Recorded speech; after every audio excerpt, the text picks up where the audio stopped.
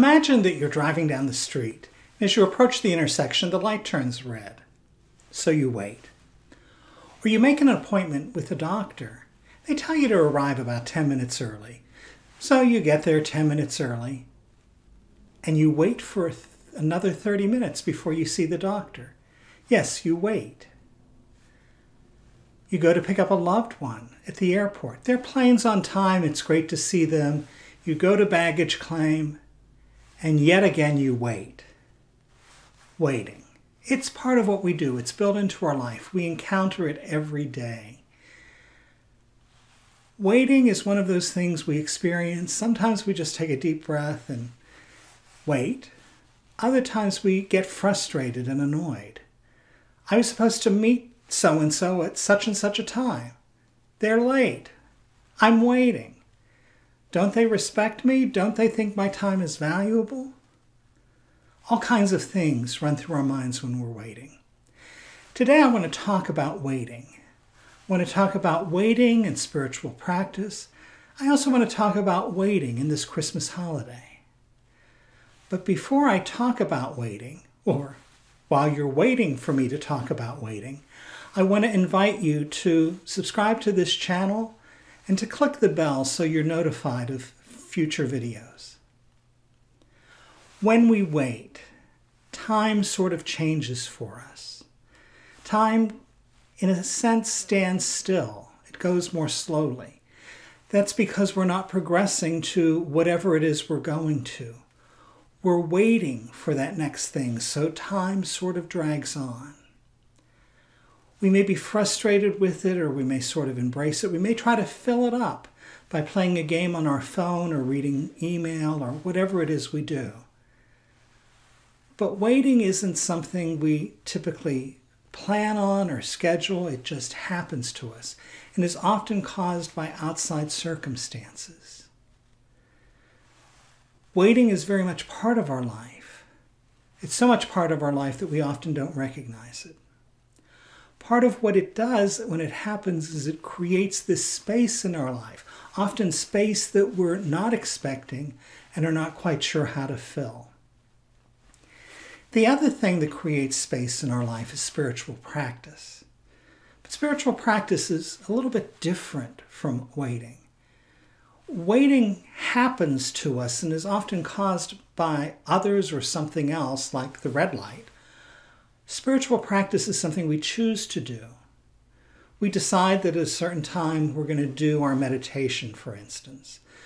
And in that time of meditation, while we may start with a prayer or breathing or some mantra or word or something like that to transition us, what we're really trying to do is enter a space, a time where nothing is really happening for us. It's a time of emptiness.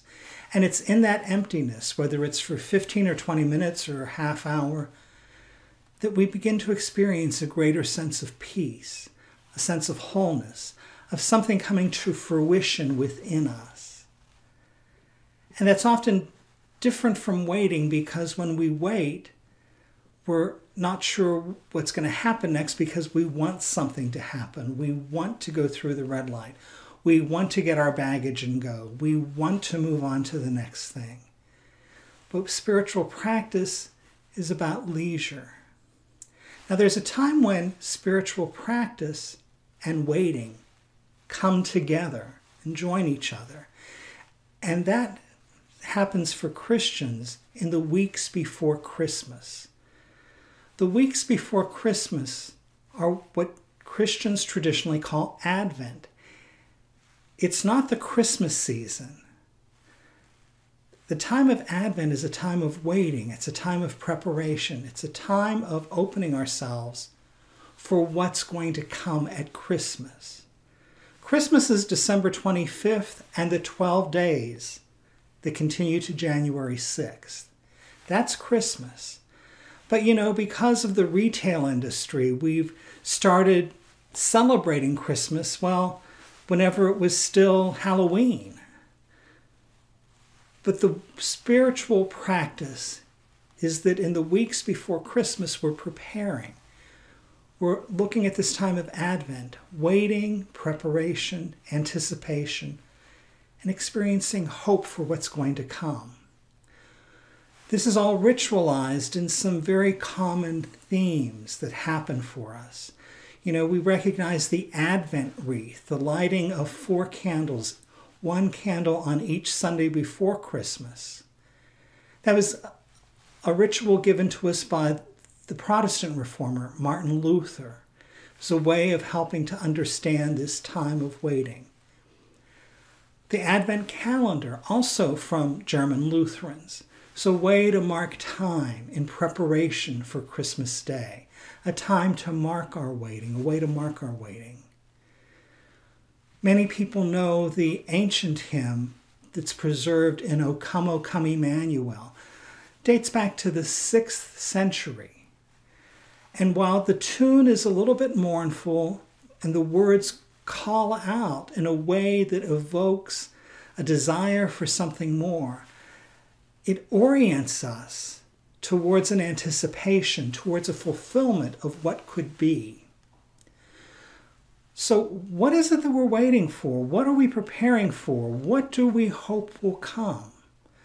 Well, that may be a little bit different for all of us.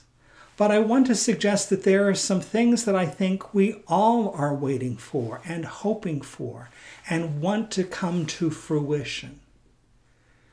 It's almost two years that we have been in this pandemic. Millions of people have died.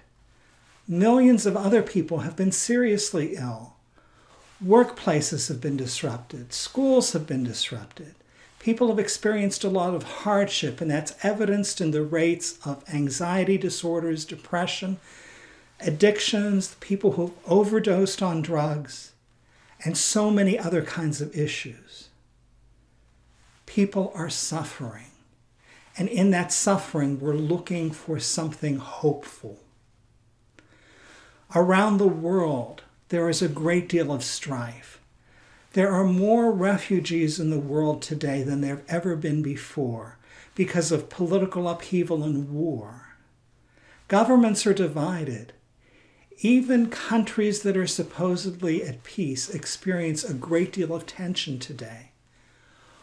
We're hoping for something better. We're hoping for peace in a very real way.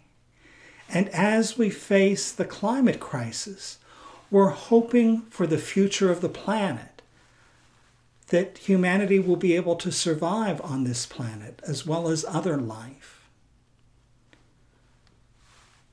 What we experience in our spiritual practice is a clue to us of what we hope for. What was it that the angels said on that first Christmas Eve? Peace on earth, goodwill to all people. We experience that peace here on earth when we engage in our spiritual practice and create room within ourselves to allow peace to fill us. And as it fills us, it impacts not just our own lives, but the lives of our loved ones and those around us. Because we begin to relate differently. We begin to relate to others out of that peace. And as more and more people experience peace within their lives because of their spiritual practice, because of creating openness in their life, then goodwill begins to manifest itself among people. So the promise of the shepherds of peace, the promise of the angels to the shepherds of peace on earth, goodwill to people, is a promise that we can help fulfill but we do that in our lives by embracing the waiting that's characterized by Advent. A waiting that opens us to anticipate something good, something whole, something that will renew us and all of the world.